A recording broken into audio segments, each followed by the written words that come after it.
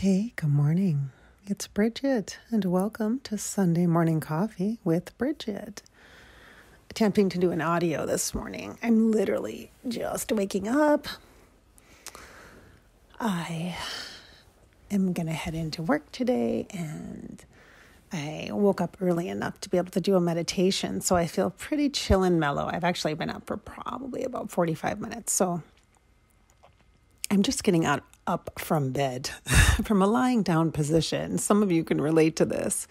Well, depending upon when you're listening to Sunday Morning Coffee. So today's talk topic is chameleon. Chameleon. So when I think of the word chameleon, I actually think about Boy George. Do you guys remember the song? Come a come a come a come a come a chameleon. You come and go you come and go, right? Well, that wasn't the inspiration for this for this podcast, but what actually is inspiration is this concept of realizing that how often we change, we adjust, we adapt our personality, what we want to say, and who we are based upon who we're with. Most of us, most of you, because you're watching or listening to my Sunday Morning Coffee podcast, you have this skill down pat. You are an empath. You feel and sense energy. And whether you realize it or not, that is a psychic, intuitive gift. That is a skill that you have honed and used all your life. Again, whether you realize it or not, you have that. And so you're scanning the room, you're scanning people, you're looking for ways to connect. And that is natural.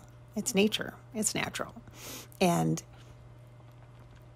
the thing is, though, is that when you do that, sometimes we are such overachievers as empaths. We are such overachievers, intuiting what people need or want or expect from us and we can blame it on our brains and our past experiences and the way we were trained in our homes growing up, but, or in the first initial relationships we've had, training us in such a way that we want to know what other people expect of us so that then we can meet those expectations and not just meet them, but perhaps exceed them and be the best person they've ever met or ever seen or ever been with.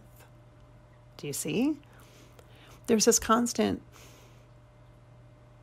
mm, push to be the best or to be great or to be good.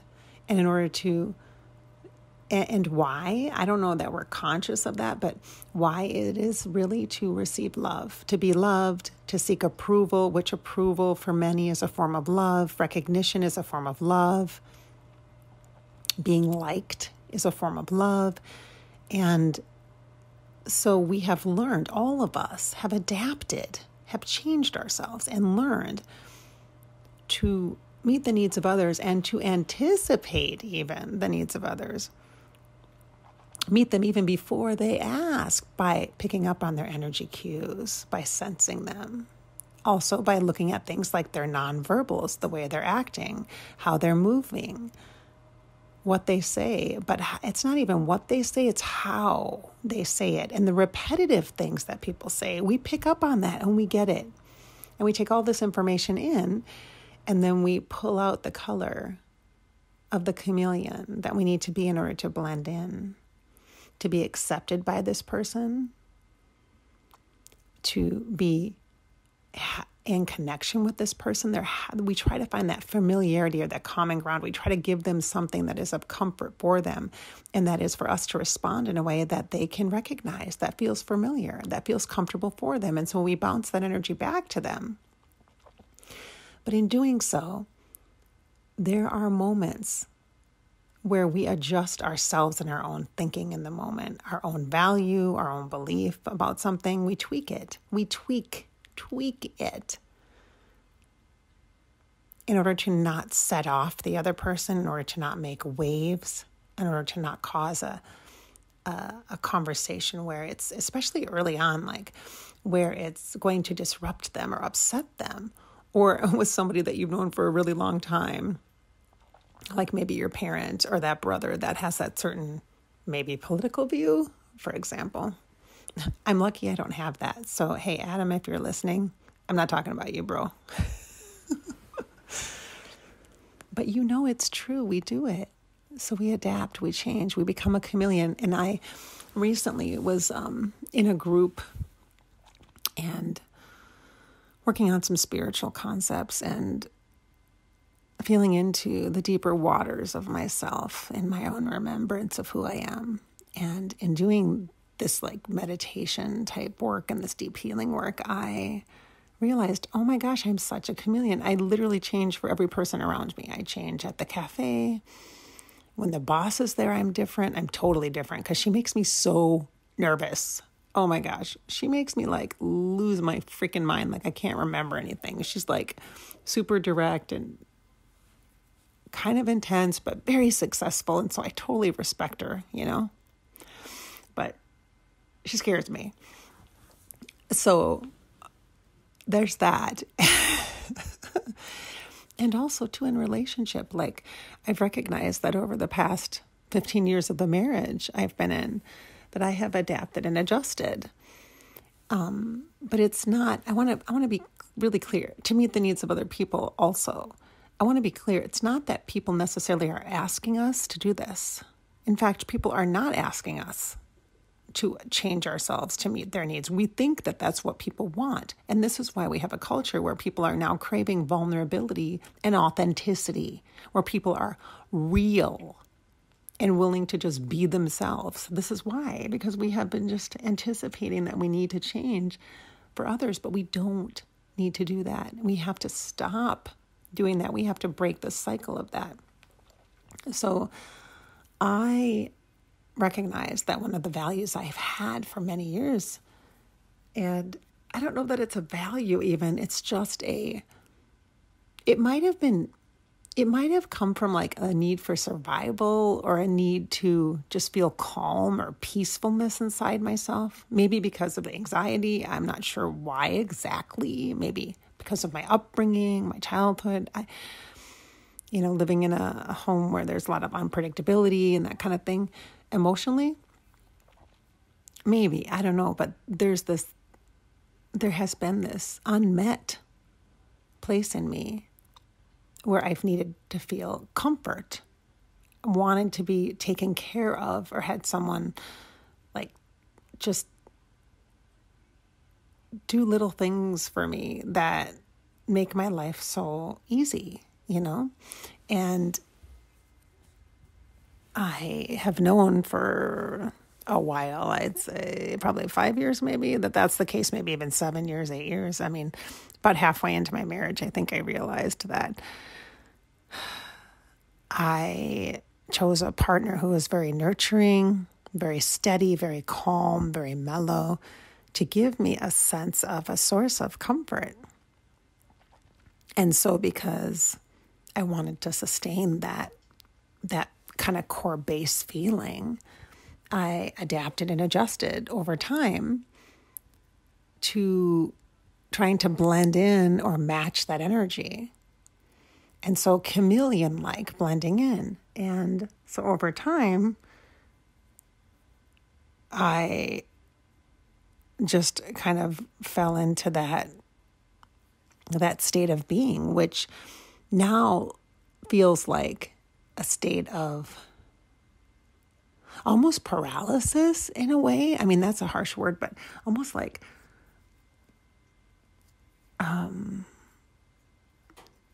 being blessed with such a buffer now i literally feel like it's almost as though I grew so dependent on someone else unintentionally. Like I didn't realize that was happening.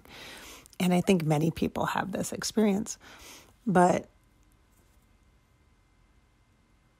I never changed who I was at my core. Like there was always an underlying restlessness and unsettledness a desire to to go travel, to go be with lots of different kinds of people and to go to events and be social and meet new friends and eat at different restaurants and have different experiences. There's always been that and I've done that. And that has happened for me um, to some degree. But then when I come back into what my life is, to my home base, it's completely dramatically different than that. And then I have to adjust and adapt. So the part of me that's chameleon like, just like for you, may have shown up in the home where I'm coming back in and having to adapt and shift gears and go into more of a okay, now this is my role. I'm the mom. Okay, I'm going to make dinner. Okay, let's schedule those those appointments or whatever it might be. And or oh, I have to I have to work on my business, you know, that kind of thing because I do. I have been also during this entire time also tending to my business and there's also this recognition too that like the chameleon part of us is also the part that's out in public in social settings. So meeting new people we are we really changing ourselves or are we seeking to bring out the best parts of ourselves or the parts that we feel are most compatible with that group? That may very well be the case. It's not necessarily that we are manipulating energy but we are bringing our best self right? And that's normal i think when you're in groups and whether you're going to a social event at the theater or you're going to a party at your kid's school for a fundraiser or you're going to work, a meeting at work, a board meeting at your nonprofit, wherever. We adjust and adapt and we bring the parts of us that are most fit in alignment with those places and spaces in a way that is chameleon like. We are adapting, we are blending in. But it's not to say that we sacrifice ourselves in those moments. I think the, the, the core point here is that to recognize when you are actually holding yourself back, when you are intentionally not sharing to your fullest extent where you could. You actually feel it in your body. I can actually feel it inside myself. Like I feel the other person reacting or responding a certain way, and then I pull back into myself, which means I don't share. I stay in that zone, in that mode where it is acceptable to them, where they will receive me and in a level of acceptance, and it won't create stress. It won't create stress, or I won't get backlash. I won't. And I've recognized that I've spent a lot of time in my life, chameleon like, to avoid backlash, to avoid somebody coming at me with an intensive emotion, because I already walk through the world as an empath, extraordinarily sensory. I don't just feel in my heart space, and just like you, you don't just feel in your heart space either. Chances are you're feeling in your body because now for me, I've shifted into my body in the last two years. My body has been such a barometer and now that my body is so aware and feels all of the stuff that my heart is feeling, it is like unbelievable. Like my ability to sense and feel energy and intuit energy and to be psychic with my body, it, it, oh my gosh, it's off the charts. And you may be feeling like this too because astrologically things have changed and shifted. We as a community, as a society, as a humankind as a whole has completely been going through an overhaul, a massive shedding and a healing and a clearing and a release. And that is from the COVID. That is from a collective trauma we are healing. And because of that, we are moving into a more heightened awareness. And some people might call it hypervigilance you know, a survival mode, fight, flight, freeze, or fawn. If you're in psychology, you're going to a therapist. And yet, yet, this energetic piece of us, this chameleon like ability that we have, is a skill that is great. It is handy. It is useful. And yet, it is something that we have to start to recognize is the opportunity to see how are we using that skill? How are we being ourselves or not being ourselves? And you might make a conscious effort to not be yourself someplace in some environment because it's safer. I get that. Listen to your body then. When you're pulling back it's for a reason. But when you start to feel that pullback of yourself, of your essence, feel into the why. Why is this happening right now? Why am I feeling like this right now? Am I afraid of their response? Am I anticipating their strong feelings coming at me? Am I trying to avoid that? Am I trying to avoid a conflict or a confrontation or even just a simple disagreement or argument? But because my body is so in tune and so heightened in its intuitiveness and its awareness and its sensitivity and its knowing, I might not be able to deal with that. And so I am making a choice to not go there. And if you make the choice to then, nope, this is who I am, I'm going to drop the veils. I'm going to drop the falsehoods in this relationship, in this, whether it's with like your best friend and you just haven't quite, you're, you're always the one that listens and you never like express, or you've had an issue with some stuff, there was some way that they're talking to you about something and you have just a different feeling, it's not about confronting anybody. It's just about being yourself. It's about saying what you feel. It's not a choose one side. You both can feel two different things. You can disagree, and it can be just fine. Adults do that. That's what happens. I know we've forgotten. I know we have forgotten this that adults can have total differences of opinions and views on things and still t- completely be friends. You can have a conversation about it if you want, but you can be friends. You don't have to just hold back what you feel. If they're like spouting off something and you feel something different, don't you don't have to hold back. That's the chameleon in you. You are blending in because you don't want to make waves. My friends, my empathic, sweet, intuitive, body intuitive friends, you are already in the waters, okay? You are already floating on the waves right now. like you are already in that and you have a surfboard, you're going to be fine. Or a big pool floaty. You know what I'm saying? You are okay. We have got to. Now, you know, I'm trying to do this too. Stop holding back. It doesn't mean you go at somebody. It's, I'm not talking about the intensity of, oh my God, this is what I feel, blah. I'm not talking about that. Because the way that you communicate, the way you express, the way you share your views and your values, the way you do it, the energy in which you're sharing from, the authenticity, not from anger, which oftentimes is like pat people are very passionate and sometimes that can be it's so close passion and anger oh my gosh you can misinterpret those energies right? It's not about you it's not personal so the way that you share just remember the way that you share from it's about you this is me this is how i feel this isn't about you. I'm not telling you how you need to feel. This is about me, how I feel. It makes all the difference in the world. So, too, then, as you receive, as you receive the information, your chameleon doesn't have to blend into the background and wish you were like, could just disappear.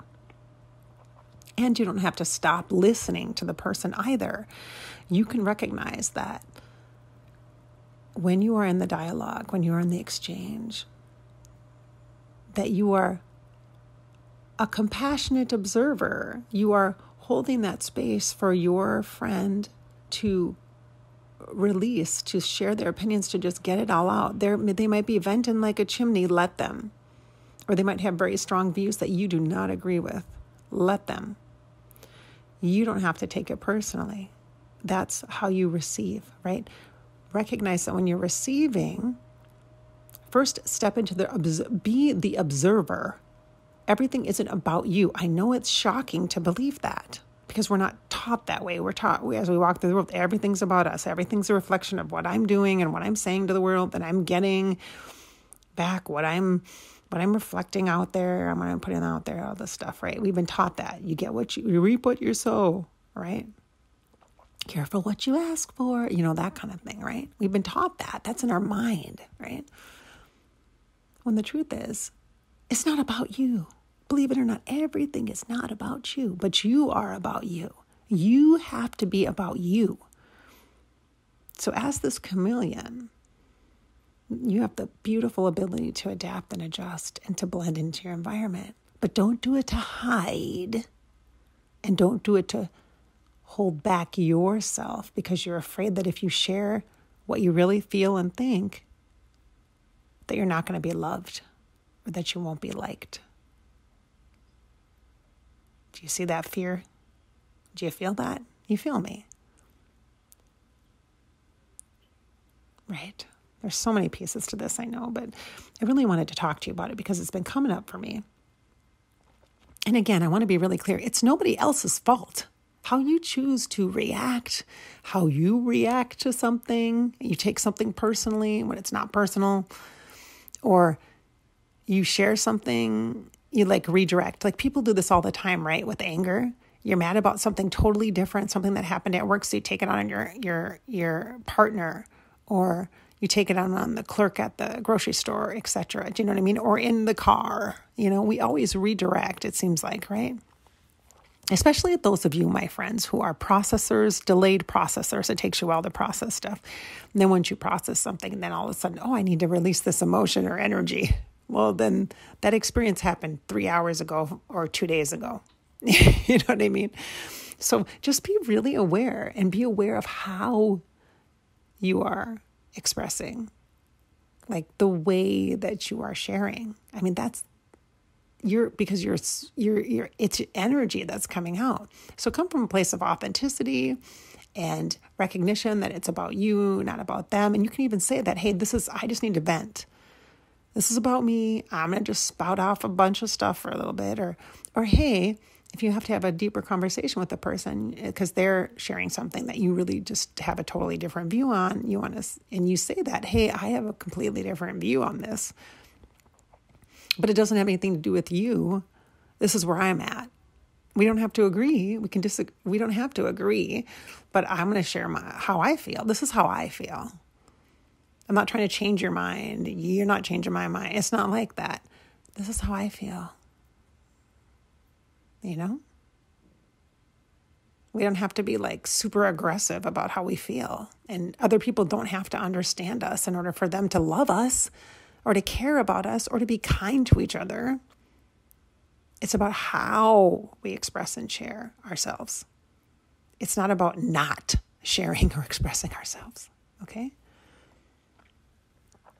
All right. So this has been Sunday Morning Coffee with Bridgette. Thanks so much for listening, my chameleons, my empaths, my body intuitives. Nice to feel into you today. I hope this has inspired your spirit and filled you with hope. Remember, this is your life after all, and you get to live it. Just live it. Thanks for listening. And thanks for watching Above Life channel on YouTube.